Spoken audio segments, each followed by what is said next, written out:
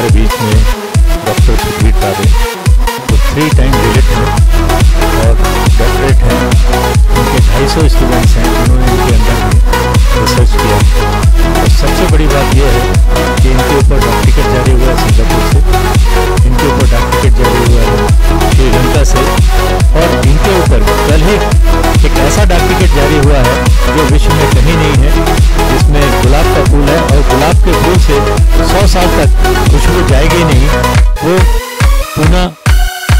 ने जारी किया है। तो सुधीर दारे जी के बारे में मैंने आपको बताया। अब ये आपसे मुखातिब।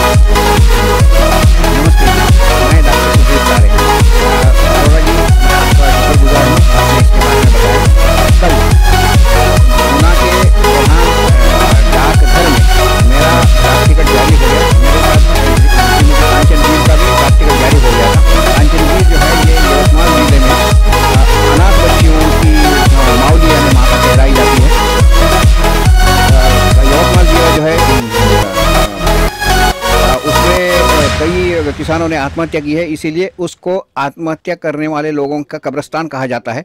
उसमें इन्होंने जो इंसानियत का काम किया है, उसकी वजह से इन्हें कब्रस्तान का, कब्रस्तान में खिला हुआ इंसानियत का फूल माना जाता है। 21 देशों के राजदूतों ने इनका सम्मान भी किया है। ये 55 बच्चों का संभाल करती है अन्न, वस्त्र, निवारा तथा उनकी शिक्षा का पूरा जिम्मा इन्होंने उठाया है। इसकी वजह से इनके कार्य को देखते हुए इनका भी डाक टिकट कल जारी कर दिया गया है। एक तो इनका 16 दिसंबर को हैप्पी बर्थडे था, इसीलिए भारत सरकार के डाक विभाग ने इनका 16 दिसंबर का हैप्पी बर्थडे का भी डाक टिकट जारी कर दिया है। इसके अलावा हम लोगों का हिंदुस्तान का पहला डाक टिकट जारी किया है, जिसको रोज़, यानी गुलाब का फूल उसके ऊपर छपा हुआ है। और ये ऐसा डाक टिकट है कि जिसमें इस गुलाब की खुशबू सौ साल तक महकती रहेगी। विश्व में ये अपने आप में एक बहुत बड़ा कीर्तिमान है और मैं भारत सरकार के डाक विभाग का विशेष रूप से महाराष्ट्र एंड गोवा सर्कल भारत सरकार का डाक विभाग उनसे उनका मैं बहुत ही आभारी हूँ। उन्होंने इसके लायक मुझे समझा कांचनवीर जी को इसके लायक समझा और हमारा सबसे पहले ये सम्मान देते हुए इस तरीके का डाक टिकट कल जारी करके हमारा पुणे डिवीज़न में हमारा सम्मान कर दिया।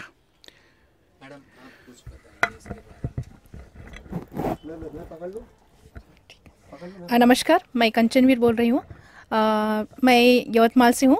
मैं जो किसानों ने आत्महत्या की है उन बच्चों के लिए कार्य करती हूँ।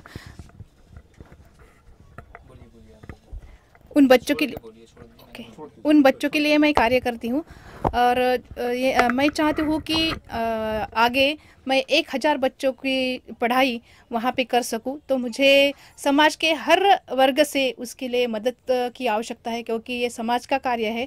मैं अकेली तो नहीं पढ़ ये आगे बढ़ा सकती हूँ। इसलिए मैं दरख्वास्त करती हूँ सब सबसे कि हमारी जो संस्था है क्रांति ज्योति, उसे सब लोग मिलकर आगे बढ़ाएँ और ये जो अनाथ बच्चे हैं, उनके जीवन में फूल खिलाने के लिए मदद कार्य करें। हेल्पलाइन नंबर कब से ये कर रही हैं काम कुछ बताएँगे मैं ये तीन साल से काम कर रही हूँ। उसके पहले भी मैं बच्चों को पढ़ाती थी। दो हज़ार बच्चों को अभी तक मैंने इस कार्य को दो हज़ार बच्चों को मैंने अभी तक फ्री में पढ़ाई की है उन बच्चों की।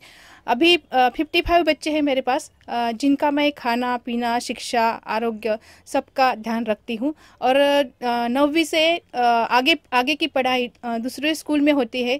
और ग्रेजुएशन के बाद भी जो पढ़ाई करते हैं उन बच्चों के बच्चों को मैं पूना मुंबई कहीं यहाँ पर भी मैंने भेजा हुआ है। उन बच्चों की भी मैं पूरी तरह की पढ़ाई का खर्चा हमारी संस्था उठाती है। तीन साल में कहाँ कहाँ आपने जो आप, आपकी संस्था है उसको फैलाया है? कि जो आप डाक टिकट के ऊपर आ गई मतलब पुणे से आपको इशू हुआ है तो कुछ बताएँगे उसके बारे में कि आपने इसके पीछे कितनी मेहनत करी है? क्या मेहनत रही है आपकी? सर जी, मैं गांव-गांव जाकर इस बात जो किसानों ने आत्महत्या की हुई थी, उन घर के लोगों को भी मैंने ये बात बताई कि मैं उनका पूरा ख्याल रखूँगी। तो हमारे ऊपर विश्वास करते उन्होंने हम, हमारे तरफ़ बच्चे को सौंपना शुरू किया। तो ऐसे कर करके पहले तो 25 थे बच्चे, फिर अभी फिफ्टी फाइव हो गए हैं। और उसके लिए, रहने के लिए मेरे पास निवारा नहीं था तो उसके लिए मैंने पाँच एकड़ अपनी खेती बेचकर उनके लिए निवारा बनवाया है। और अभी तो जो लड़के हैं, उसके लिए तो किराए से लिया हुआ है, वो किराया भी मैं झेल नहीं पाती हूँ। तो चाहती हूँ कि इसके लिए मुझे मदद करे। और और सारे 200 बच्चे और आ रहे हैं हमारी तरफ़। उनका एडमिशन का एडमिशन के लिए हमारी तरफ़ आए हुए हैं।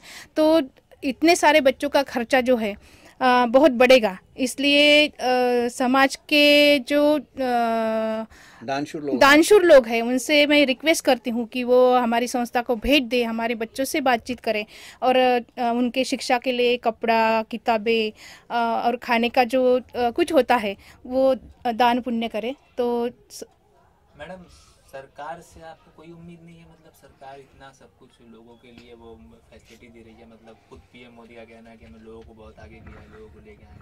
तो आपको किस तरह की सरकार से हेल्प नहीं है जबकि पूना और महाराष्ट्र में उन्हीं की सरकार है? अ, सर जी सरकार से तो अ, मदद की जो अपेक्षाएँ वो तो मैं अ, हार चुकी हूँ क्योंकि 2002 से मैं स्कूल चला चला रही हूँ। एससी बच्चों के लिए पहले मैं स्कूल चलाती थी तो 2000 बच्चों को मैं मेरे पास 180 बच्चे थे तो उसके लिए भी मैं हम संघर्ष कर रहे हैं। तब से। सत्रह सालों से उन स्कूल को भी ग्रांट नहीं दी हुई है अभी तक। तो कैसे चलाएँ?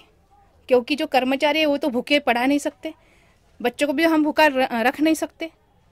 तो इसलिए तो फिर मैंने- किसानों का जो सरकार का जो वादा है वो कुछ भी मतलब पूरा नहीं है जिस तरह से आप कह रही हैं? हाँ तो- तो किसानों को आत्महत्या होने के बाद वो सरकार एक लाख या डेढ़ लाख रुपए दे देते हैं। लेकिन उसमें से तो पूरा साल तक ज़िंदगी भर तो वो गुजारा नहीं कर सकते हैं। जैसे नाम फाउंडेशन ने भी पच्चीस हज़ार रुपये या ट्रे, ट्रेनिंग कोर्सेज चलाए हैं उनको एक एक सिलाई मशीन दी हुई है। लेकिन उससे तो उसका गुजारा नहीं होता। जो उनकी आगे की पीढ़ी है उनके आगे की पीढ़ी को पढ़ने के लिए गुजारा करने के लिए जो सहायता चाहिए वो सहायता तो पच्चीस हज़ार रुपये तो एक साल में ही खर्चा होंगे। फिर आगे की पढ़ाई कैसे करेंगे? सर, आगे जिएँगे कैसे? मैडम बोल रही हैं अभी जैसे कि सरकार को दोषी ठहरा रही हैं लोगों को जो हेल्प नहीं कर पा रही है सरकार बट आपको जिस तरह सरकार ने हेल्प किया है डाक टिकट पे आपका फ़ोटो लगा है आपका? श्रीलंका की सरकार ने हेल्प किया तो आप क्या कहेंगे भाई मैंने तो काफ़ी लोगों से अपील की हुई है और बताने में बहुत खुशी हो रही है कि बॉलीवुड से भी कई हस्तियाँ वहाँ आके विज़िट करके गई हैं। उन्होंने भी वादा किया है कि हम इन बच्चों के प्रति अपना प्यार जताएँगे और कुछ ना कुछ मदद करेंगे। भामाशाह लोग भी सा, आ, सामने आना शुरू हो गए। जहाँ तक सरकार का सवाल है मैंने सरकार से अभी तक कोई इस मामले में पहल नहीं की हुई है सर। क्योंकि आप- मेरी इतनी जान पहचान है जुड़े कोई हेल्पलाइन नंबर कोई जो आप हाँ, तो इनका- हाँ जी, इनका- आपसे लोग जुड़े कैसे? बता देंगी ये। अच्छा मैडम के बारे में कुछ बताइए मतलब आपका रिलेशन क्या है आपस में? अरे बस ये एक अच्छी अ, सोशल वर्कर है सामाजिक कार्यकर्ता है। इनके बारे में मुझे साल भर पहले मालूम पड़ा था। तो जब मालूम पड़ा तो मैं साथ में दोनों का टिकट पे फ़ोटो है तो आप अब क्या अब आप क्या समझते हैं? दोनों का काम एक ही जैसा है कि अलग अलग नहीं मेरा काम तो कुछ अलग ही है। मैं वर्ल्ड पार्लियामेंट के वर्ल्ड पार्लियामेंट एंड कॉन्स्टिट्यूशन का मैं इंटरनेशनल मेंबर हूँ। इसके अलावा इंटरनेशनल यूनिवर्सिटी में पीएचडी का रिसर्च गाइड भी हूँ। वैसे अभी उस वक्त इस वक्त जो है मेरी उम्र तिहत्तर साल की चल रही है। एक हिसाब से देखा जाए तो वैसे रिटायर्ड आदमी माना जा सकता हूँ। लेकिन अ, काम करते रहने की आदत है और कई लोग गाइडेंस के लिए मार्गदर्शन के लिए आते हैं तो उनको गाइड करता रहता हूँ। तो मैडम कुछ हेल्पलाइन नंबर बताइए कहा कि मेरे को जो है जुड़ना चाहिए लोगों को तो लोग जुड़े कैसे आपसे? मेरी तो वेबसाइट वगैरह नहीं है।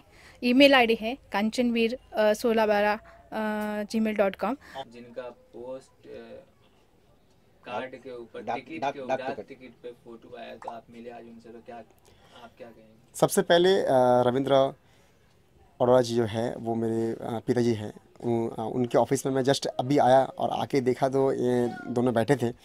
तो बात करते करते करते करते मुझे इतना ज़्यादा मुझे मन में फील हुआ जो आज तो मीडिया बुलाना चाहिए। तो मैंने हैदर भाई को मैंने फ़ोन किया, जो बॉलीवुड की बातें जो है, आज नंबर वन चैनल है। तो उनको बुलाया तो उन्होंने आया और सबसे बड़ी बात है, जो चैनल वाले आते हैं तो मैं सल्यूट करता हूँ बॉलीवुड बातें को जो आए। और साथ में मेरे भाई जो है सिंगर है, प्रकाश तिवारी जी वो आए। इसलिए आए हैं क्योंकि ये एक सिंगर है तो सिंगर के माध्यम से इनकी चीज़ों को, इनकी चीज़ों को वो आगे लेके आएँगे। और मैं आज गरीबों का एक्टर हूँ तो लोग मुझे पहचानते हैं गरीबों का एक्टर से। लेकिन इस इंसान को देखने के बाद, मिलने के बाद एक डार्क टिकट में इनका फ़ोटो है। मैं सैल्यूट करता हूँ। मैं ताली बजाता सब, मैं सबसे पहले मैं सैल्यूट करता हूँ। और इनको शिलोंग का इनको यूएसए मतलब हर जगह पे उनके डाक टिकट में उनका फ़ोटो है और उनसे जारी किया गया। मतलब ऐसे हिंदुस्तान का पहला इंसान है। और ये छुपा हुआ है महाराष्ट्र में, मुंबई में। मतलब हिंदुस्तान का पहला एक ऐसे इंसान है, वो भी छुपा हुआ है महाराष्ट्र में, मुंबई में। तो इनको बाहर निकालने के लिए मैं मीडिया को बुलाया। और thank you so much for media thank you so much Ravindra.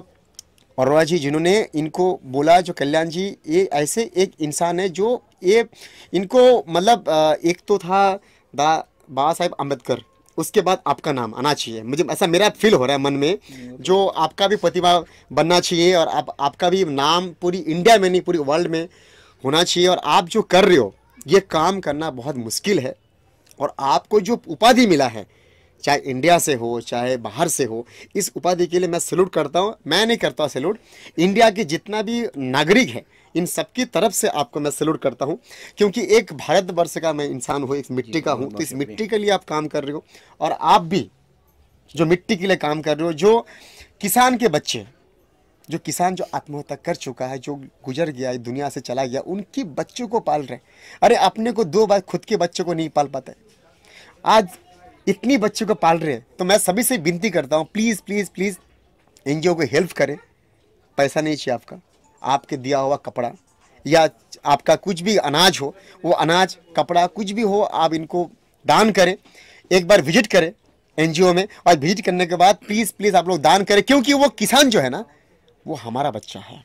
क्योंकि किसान की वजह से हमारा पेट चलता है। और ऐसे किसान के बच्चे अगर वो आज भूखा मर रहा है, उसको अगर वो मैडम उसको खिला रहा है, उसको अगर हेल्प नहीं हो रहा है, सरकार से मैं विनती करता हूँ, सरकार बीजेपी का है, मैं सल्यूट करता हूँ बीजेपी को। लेकिन प्लीज़ प्लीज़ सरकार के जो जितनी भी मंत्रियाँ हैं, वो उसको देखे और उसको देखने के बाद उसको एनजीओ पे जाए, उनको हेल्प करे। And thank you so much इतनी महान हस्ती को आज मिलने के लिए। And thank you so much Ravindra Arora ji और मेरे हैदर भाई बॉलीवुड की बातें और मेरे सिंगर भाई प्रकाश तिवारी जी। प्रकाश जी क्या कहेंगे? आप आप क्या कहें मुझे जब जानकारी हुई कल्याण जी ने बताया कि रविंद्र अरोड़ा जी के ऑफ़िस में दो शख्सियत आए हुए हैं। तो मैं बिना इनसे मिले मुझसे रहा नहीं गया। मुझे लगा कि मुझे मिलना चाहिए। और जब मैं यहाँ आके देखा और जानकारी मिली कि ये लोग पूरे दुनिया में पूरे बहुत सारे देशों में ये लोग जा चुके हैं बहुत अच्छा काम कर रहे हैं। खासकर जो डाक टिकट पे इनका फ़ोटो है और उस डाक टिकट को मैंने सूंघ के देखा कि कितनी अच्छी महक है। तो इसके लिए मैं केवल ये कहूँगा कि मुरझाए हुए बाग में फूल खिल गए अभी हम थे अकेले अब आप मिल गए। क्या बात है क्या बात बहुत ही अच्छी खुशबू है जैसे कि बताया कि ये सौ साल तक इसकी खुशबू जब भी आप उसको सूंघेंगे तब भी तब तक आपको खुशबू उसी तरह की मिलेगी। ये बहुत खुशी की बात है खासकर इनके काम में ही वो खुशबू है कि हमें इनके काम से ही खुशबू लेना है। उसके बाद डाक टिकट का खुशबू तो हम लोग लेते ही रहेंगे। हमारी शुभकामनाएँ हैं इन लोगों के लिए। आपकी आवाज़ भी मैंने सुनी है और वो तुलसाबाई होलकर। जो कि रानी लक्ष्मीबाई के पहले ही उन्होंने आ, किया था ना? चालीस साल पहले। 1817 1817 में। जिन्होंने अंग्रेज़ों के खिलाफ एक वो छोड़ छेड़ा हुआ था और लड़ाई लड़ी थी तो वो गीत भी मैंने सुना काफ़ी ओजपूर्ण था। तो मैं इनके लिए कहना चाहूँगा जो कि बहुत ही अच्छा जिसने भी लिखा आपने लिखा और मैंने और घनश्याम होलकर जी गणेश अमोलकर जी उन्होंने लिखा है। तो मैं इनके लिए दो लाइन बोलूँगा कि मेरे हाथों